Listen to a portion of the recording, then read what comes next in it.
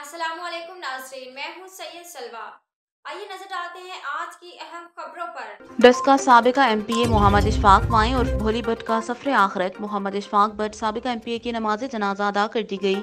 नमाज़ जनाजा में जिला भर से हज़ारों अफराद की शिरकत। चौधरी नवीद अशरफ सबका M P A Chaudhry Tariq Subhani, सदर पाकिस्तान मुस्लिम लीग नून जिला सियालकोट। मोहम्मद वंशा भट्ट सबका M P A Khawaja Atif Raza पाशी।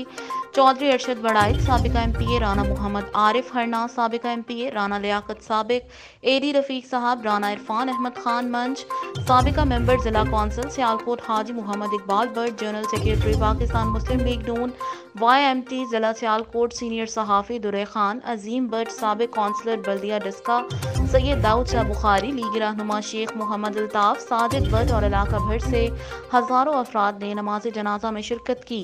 अल्लाह ताला मरहूम को अपने जवार रहमत में जगह ता फरमाए, आमीन। खसूसी report, Malik Ahmad Raza Awan, senior group editor, रोजनामा वाज, इंग्लिश उर्दू न्यूज़, लाहौर।